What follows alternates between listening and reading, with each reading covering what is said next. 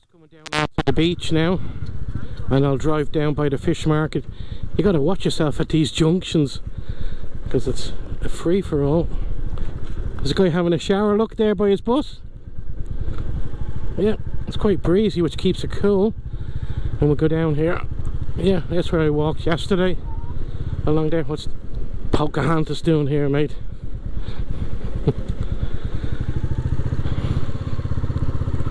okay